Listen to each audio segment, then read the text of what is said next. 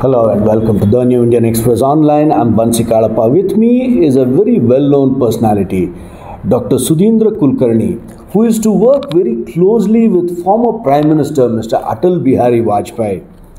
Mr. Kulkarni, first of all, uh, you know, when we look at the the kind of a political narrative, the kind of a campaigning that is going on, the campaigning has become extremely vicious, to say the least you know, statements of uh, serpent and Vishakanya, and uh, even statements like, uh, you know, if a certain party comes to power, there will be communal riots.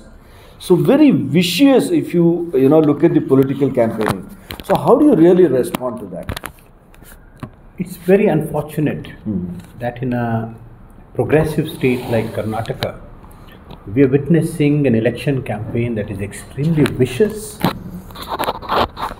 extremely confrontational, and uh, has lowered the standard of uh, campaigning to depths that we have not seen before. Absolutely.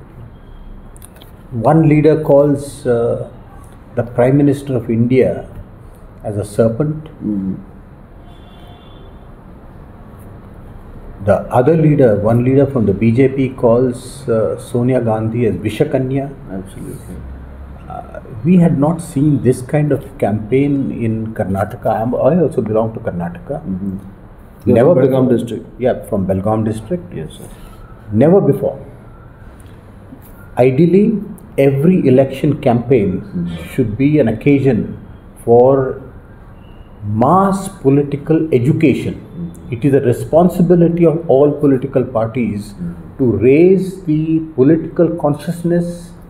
Political understanding, awareness of the people, and reinforce their understanding and knowledge of the basic principles of democracy. And in order to do that, political parties themselves and their leaders must understand what democracy is all about. Democracy is not about uh, blaming each other at every single point Yeah.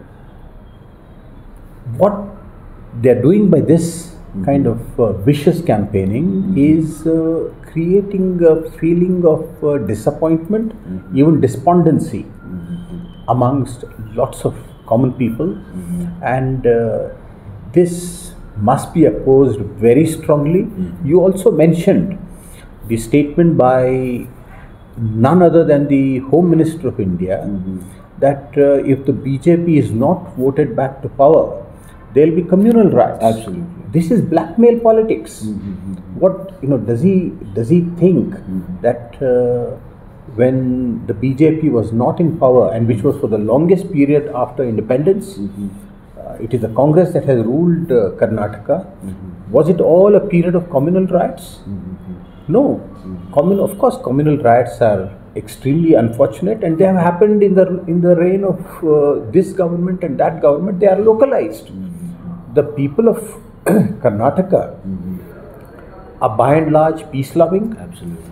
They don't like communal uh, tension. Mm-hmm. They don't like violence in the name of religion. Mm-hmm. There has been a long tradition of co living, peaceful living. Absolutely. Mm-hmm. The culture of Karnataka is represented by great personalities like Sarvajna, Basavanna, Absolutely. Shishunal Sharif, Absolutely. the Dasa poets. Yeah, that, that's a tradition. and mm-hmm. in modern times by people like Kuvempu. Mm-hmm. Now, this is the tradition. Mm-hmm. It's a tradition that has always hailed the principle of uh, peaceful coexistence among people of different castes, subcastes, and religious identities. Unfortunately, today, for the sake of gaining power or consolidating power, political parties, and here I especially would like to blame the BJP for fomenting communal violence and polarizing society just for getting votes and coming back to power because they have no real positive message to give on the basis of their performance in governance. Okay. Now you have been in Bharatiya Janata Party for about 16 years. Yes. And you moved out of the Bharatiya Janata Party. So, uh, you know, Now you belong to Athani. You belong to Belgaum district. Now Athani has a leader, uh, you know, Mr. Savadi, who uh, moved out of the Bharatiya Janata Party similarly. So uh, you know, is, is there at some point would you come back to the Bharatiya Janata Party? No. You know, the Bharatiya Janata Party has changed beyond recognition mm-hmm. since Narendra Modi and Amit Shah mm-hmm. have uh, come to the helm of this party. Mm-hmm. This has no resemblance with uh, the party that I served for 16 long years under the leadership of Atal Bihari Vajpayee ji, Lal Krishna Advani ji, whom I regard, even though I'm not in the party anymore. I have the greatest respect for both of them. Uh, they were leaders who were truly inclusive, mm-hmm. who believed in democratic traditions, mm-hmm. who fought for democracy. To just to give an example, mm-hmm. we are having this conversation in Bangalore, Absolutely. and it is in the central jail of Bangalore that uh, both Vajpayee ji and Advani ji were imprisoned when emergency was declared on 25th June 1975 and Advani ji actually spent almost the entire part of the emergency of 19 months mm-hmm. in Bangalore In jail. Bangalore. So they suffered imprisonment, mm-hmm. but they also, in all different ways, politically, in terms of uh, ideas, mm-hmm. they fought against the emergency, against authoritarianism, and they defeated dictatorship. And when the people themselves ousted Indira Gandhi and the Congress at that time, mm-hmm. it was Vajpayee ji and Advani ji who were at the forefront mm-hmm. of restoring democracy, of of uh, moving back mm-hmm. all the anti-democratic amendments to the constitution that were brought about during the emergency. So the point I am making is, Vajpayee ji, Advani ji, they were Democrats to the core. Absolutely. and they deeply believed in the diversity of India, social diversity, religious diversity, cultural diversity, and they also had respect for opposition parties. I have been witness, having served in the Prime Minister's office, mm-hmm. how Vajpayee as Prime Minister took not only 24 parties in the National Democratic Part- Alliance along, mm-hmm. There were big parties, there were small parties, but he cared for all of them, he treated all of them with respect. Mm-hmm. But more importantly, he also took the con- opposition into confidence, and therefore the opposition respected him as the prime minister. Mm-hmm. Today, all that faith, trust, confidence has broken down. Mm-hmm. Today, the, the center state relations are at an all time low. There is no uh, meaningful dialogue between the ruling party and the opposition. There is no dialogue in, the par- in parliament. So, where is democracy headed? And this is the reason why I have left the Bharatiya Janata Party. Now, coming to the other part of your question, where you mentioned about the fact that I am from Athani, where uh, one local leader, uh, he's both a local leader and also a prominent leader of uh, the BJP until recently, mm-hmm. who even became the deputy chief minister, Lakshman Savadi, mm-hmm. ha- who has switched from the BJP to the Congress. Yes. Now, it just goes to show, mm-hmm. I mean, he, and he's not the only one. There is also Jagdish Shettar, Yes. another prominent uh, BJP BJP leader who happened to be the chief minister, former chief minister of Karnataka. He has also left the BJP and joined the Congress.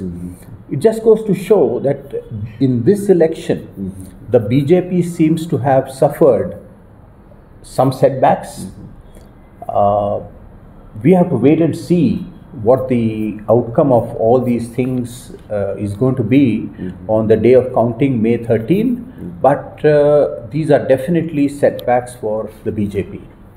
And I'm, I would like to say that in, in other parts of India too, mm-hmm. there are very prominent leaders of the BJP who served the BJP for long years with dedication and commitment, mm-hmm. like Yashwant Sinha, Arun Shourie. They also have, have left the party. Mm-hmm. and they have become strong critics of the BJP now. Absolutely. So, the the one message that this conveys to all the thinking people within the BJP now is that they should introspect. They should do honest introspection on where their party is headed. Absolutely. Also, uh, you know, BJP, uh, you mentioned about Jagdish Shettar, another senior leader. When he came out, you know, there was so much of uh, anger, frustration, uh, even some amount of bitterness that he had been betrayed by the Bharatiya Janata Party, whom he had served so faithfully for about four decades. There was no reason to leave him out, no taint, uh, no issue of age because he is well within the 75 years because you know uh, is much older yet he was accommodated. Somanna is older, he was accommodated. He is only 68. So age is not the criteria, but he was not accommodated and they spoke of a conspiracy. So would you like to comment about that? See, what it goes to show mm-hmm. is that even the so called principles mm-hmm. or criteria that they have themselves set, mm-hmm. for example, the criterion of age, it is not uh, implemented across the board uniformly, which means that it has no real sanctity. Some are removed or denied tickets by citing the, uh, the, the factor of age, whereas those who are even older than Jagdish Shettar Yeah. are given tickets. For example, Yediyurappa first was asked to step down as chief minister, Absolutely. but he happens to be uh, a member of the highest decision making party body in the party that's a parliamentary, Parliamentary board. board, yeah. Hmm? Now, what kind of uh, what kind of uh, decision making is this? Absolutely. And this is why there are strong suspicions voiced by people within the BJP and the ecosystem of its supporters that uh, denying ticket to someone like Jagdish Shettar is for other reasons than what has been stated.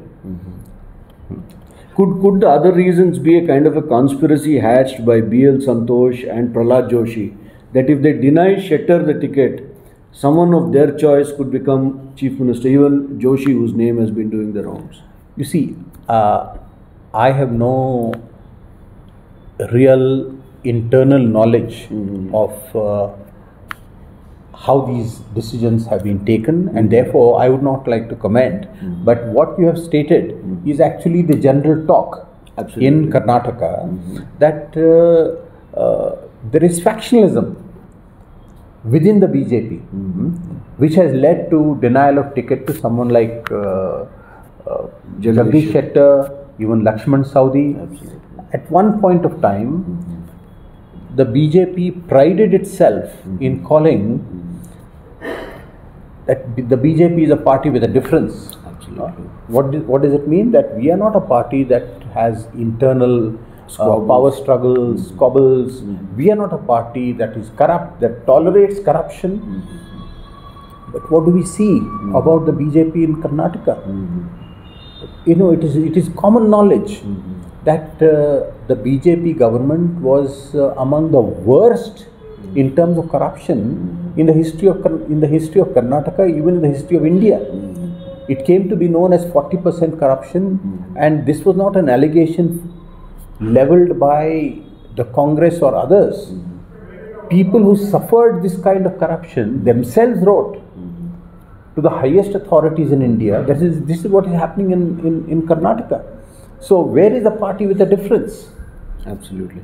Also, uh, BJP has launched yet another high-pitched campaign, and if you look at the campaign by the Congress and the Bharatiya Janata Party, Congress campaign really no match, you know, by the sheer potency of the campaign. Would you like to comment about the campaign? Because when Modi goes on his road shows, you have that, you know, hysterical chant, uh, you know, by the crowds following him, supporting him. Know, this high pitched campaign, what is its core message? The core message of uh, the, the high decibel campaign by the BJP is that Karnataka needs a double engine sarkar, hmm, hmm, hmm. double engine government.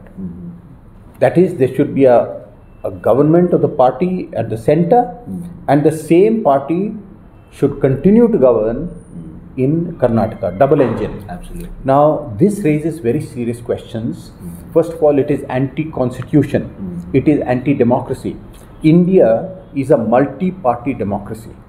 So, when you say there should be a double engine sarkar in Karnataka, in Uttar Pradesh, in Bihar, in Maharashtra, in every single state in India, what you are saying in effect is that India should be not just Congress mukt, but in India should be opposition mukt. Which means one nation, one party, one leader, and one ideology. This goes completely against the grain of the constitution and democracy. This is one aspect of the double engine sarkar um, appeal. But there is another aspect. See, already there was a double engine sarkar. Absolutely. No? For the past close to four yes, years. there was uh, there is BJP government at the center since 2014 Yes. and a BJP government in Karnataka. Absolutely. What happened? Why did the the double engine sarkar fail to curb price rise? Today, price rise is at the highest, and you ask anybody in Karnataka or even people beyond Karnataka, what is the one single most problem that affects common people? Mm-hmm. It is price rise. Absolutely. We have none other than the Prime Minister himself on record before 2014 asking why is there is so much price rise during Manmohan Singh's government. Absolutely. Hmm? He said, why is the, the rupee devaluing? And in 2014, the value of rupee was against dollar was some, somewhere around 56. Today it has crossed 80. Does he have an answer? When the BJP was in the opposition, they protested everywhere against the price of cylinder, which had reached 400 per cylinder. And we have seen the visuals of ministers sitting on dharna with actual cylinders. Today, it is three times higher. Almost three times. Do they have an answer? So, has double engine Sarkar meant cheaper gas, mm-hmm. cheaper transport, Yes. cheaper house rent, cheaper medical care, cheaper school fees? So, how has, how has it benefited the common people? Correct. Unemployment. Has double engine Sarkar been able to reduce unemployment?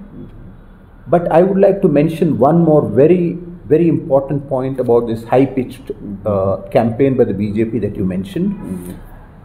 Double engine Sarkar is actually what they are proposing and presenting to the people of in Karnataka is that there should not only be a double engine Sarkar, but it should be, it will be a double engine Sarkar with a single driver. Hmm? Meaning that the driver of the engine at the center is Prime Minister Modi, and the driver of the government in Bangalore, Karnataka, is also Narendra Modi. Hmm? So, and this is not someone else's interpretation. Amit Shah, the Home Minister, in a rally in Karnataka says that people of Karnataka should hand over the future of Karnataka to the hands of Narendra Modi. He is not saying that Basavaraj Bommai, he is our chief ministerial candidate or someone else is. So please trust our leader and they will take India, they will take Karnataka on the path of uh, continued development. He's not saying that. He's saying hand over the future of Karnataka to Narendra Modi.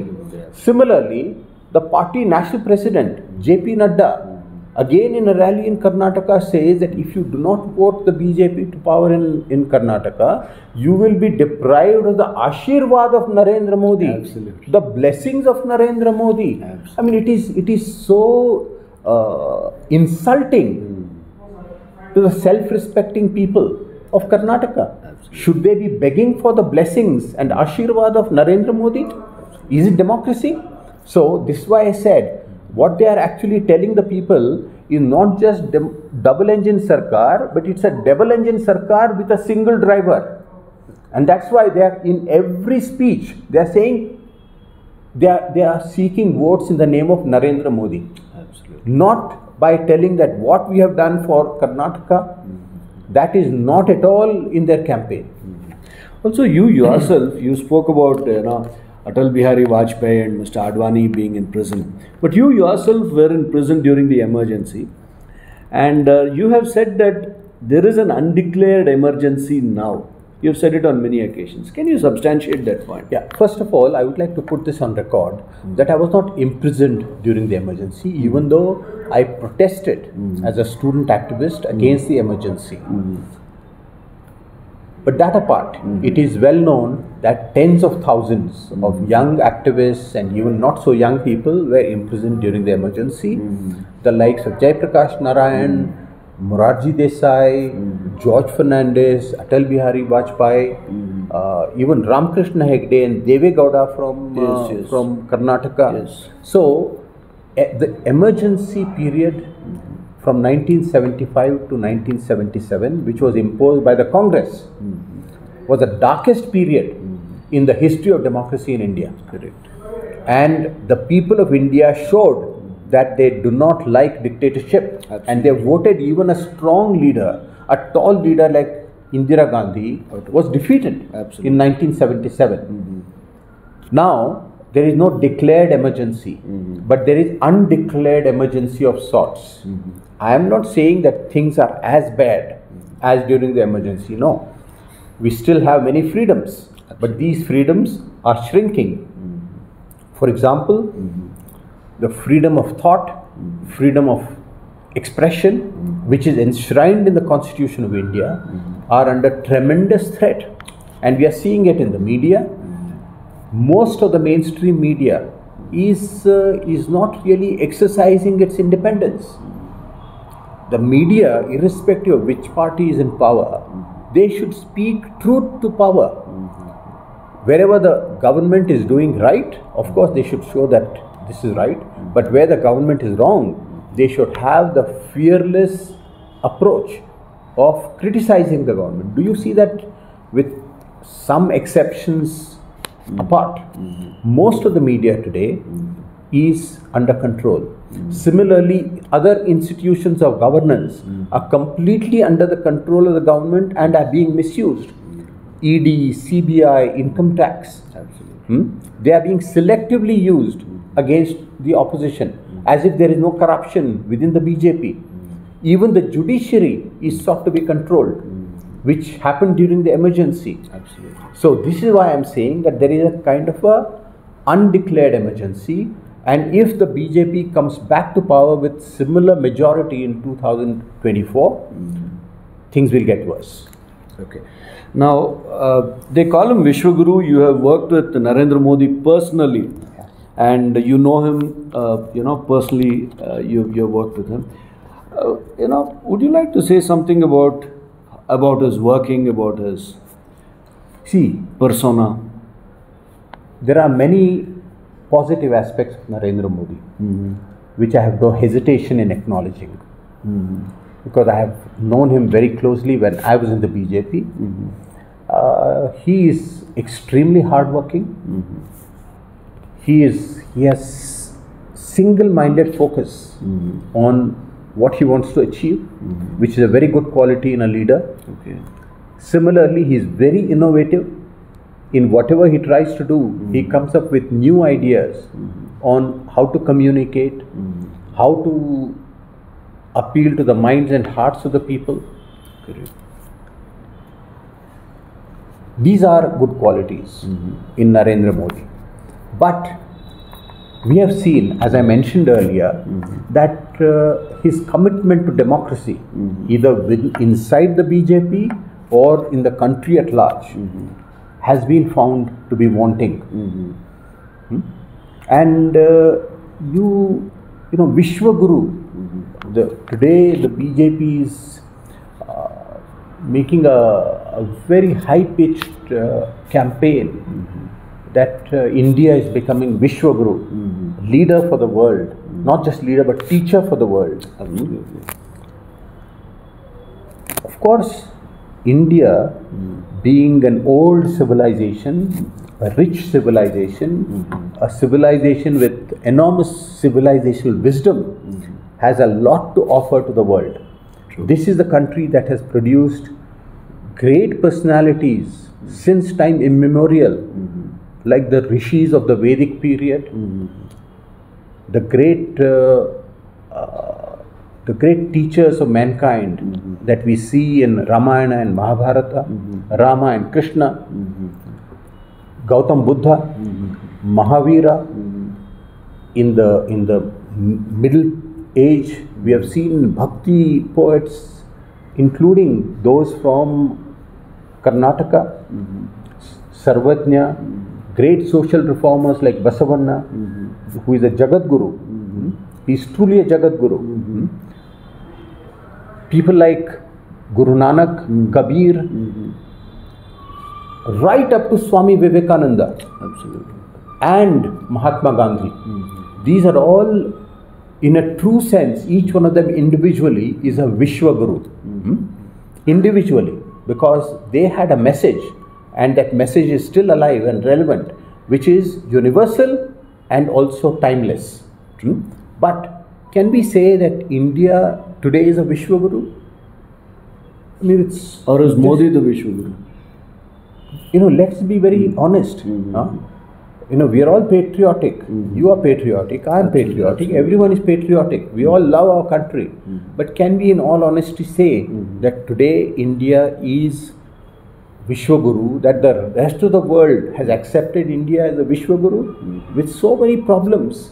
Power, problem of poverty, problem of extreme inequality in India, where there are a few people who have become billionaires among the richest in the world, whereas there's a huge majority that is devi- you know, deprived even of the basic necessities of life.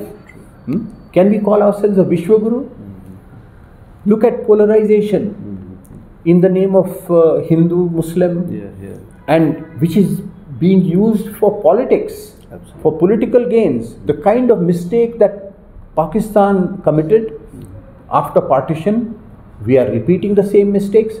They uh, created a nation on a very poisonous ideology or, or uh, plank hmm. called two nation theory that Hindus are a separate nation, Muslims are a separate nation, and after partition and after creation of Pakistan, they called themselves Islamic Republic. Hmm.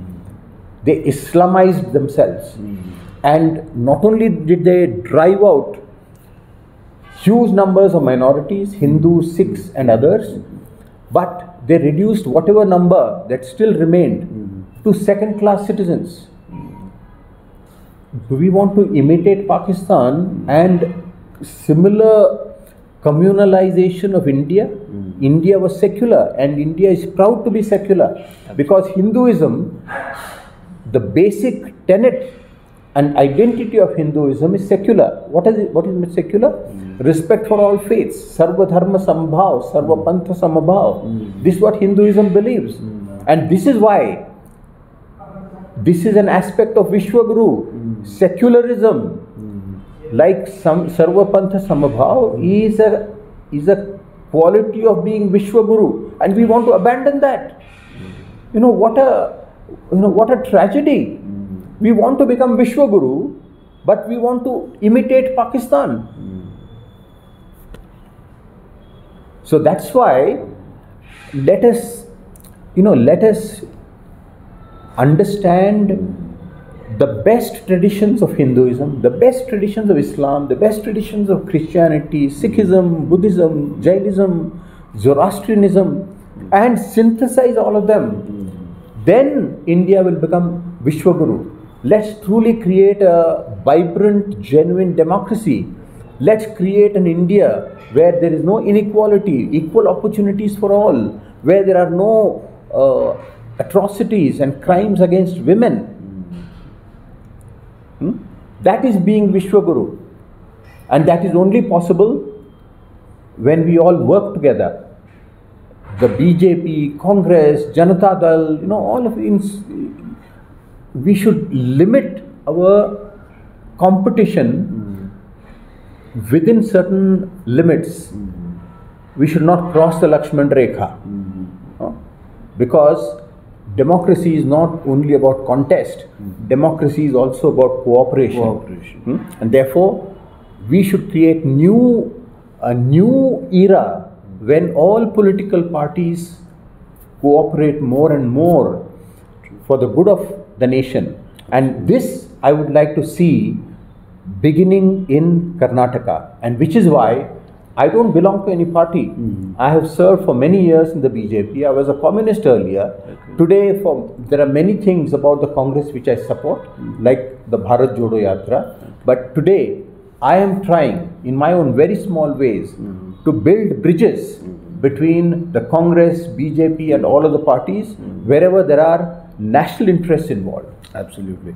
Uh, also, one very disturbing thing is that many parties have accommodated criminals. Uh, you know, national parties.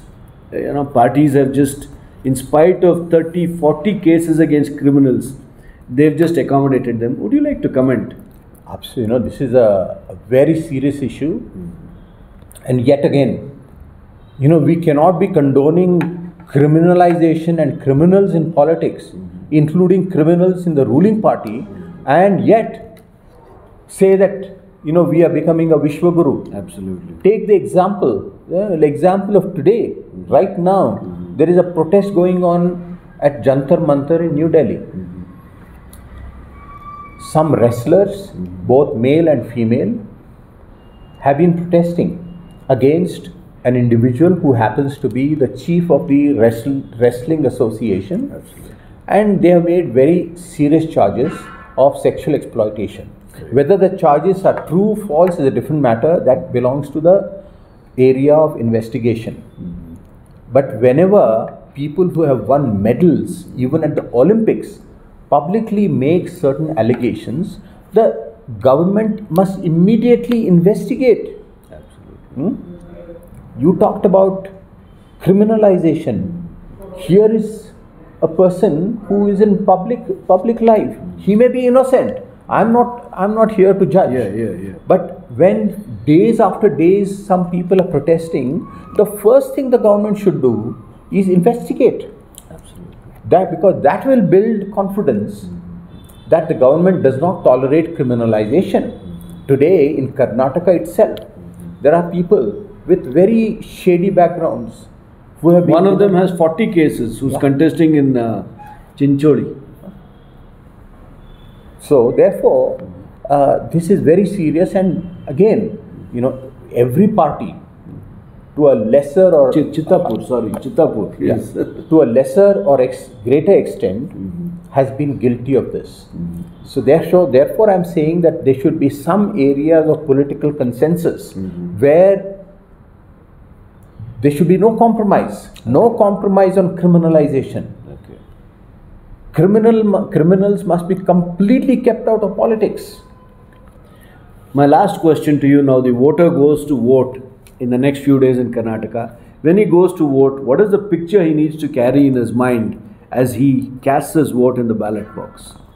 It's a very good question, and I would like to say that uh, the people of Karnataka must vote to ensure that the mistakes of the past are not repeated.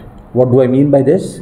That there should not be a hung assembly that gives an opportunity for Operation Kamal to be repeated. Okay. Because we have seen in the past how a minority was manufactured and transformed into a majority, Majority, yes. by bribing elected representatives, by creating divisions and defections. This is complete subversion of people's mandate. True. In order to prevent this, Operation Kamal or any such variety, we have seen what happened in neighboring Maharashtra. Absolutely. You know, a ruling coalition And in Goa. and in Goa And and in in, Madhya Madhya Pradesh. Pradesh. You know what? You know, the, and is this? Can we do all this and still say you know we are becoming Vishwaguru? Absolutely. We are becoming a we are becoming a, becoming a laughing stock. Absolutely. Huh? So therefore, as far as people of Karnataka are concerned, they must exercise their vote in order to bring about change. Because this government has earned a you know, very strong reputation of anti incumbency. It has failed to deliver on, on its promises. So, therefore, you know, in Kannada, uh, if I may just Yeah, use that please, one please, word, yeah. ಆ, ಅದು ಒಲೆ ಮೇಲೆ ರೊಟ್ಟಿ ಮಾಡುವಾಗ ರೊಟ್ಟಿಯನ್ನ ತಿರು ತಿರುಬೇಕಾಗ್ತದೆ. ಇಲ್ಲದಿದ್ದರೆ ಅದು ರೊಟ್ಟಿ ಸುಟ್ಟು ಹಾಗೆ you know they should be change so when there is change there is at least ಬದಲಾವಣೆ ಆದರೆ ಸುಧಾರಣೆಗೆ ಒಂದು ಒಂದು ಹಾದಿ ಹುಟ್ಟುತ್ತದೆ. ಅದು ಒಂದು ಬದಲಾವಣೆ ಆಗಬೇಕು. ಆದರೆ ಬದಲಾವಣೆ ಜೊತೆಯಲ್ಲಿ in in addition to change there must be a very strong decisive mandate to a party that can provide stable government so that there is no operation kamal Okay. so this is my appeal to the people of karnataka Thank you. There it is, Mr. Sudheendra Kulkarni, a man who closely worked with the legendary Prime Minister, Mr. Atal Bihari Vajpayee, in the Prime Minister's office, who uh, quit the Bharatiya Janata Party after, after serving the party for about 16 years, saying there must be change in Karnataka. With camera person Nagaraj Gadekal, this is Bansy for the New Indian Express Online.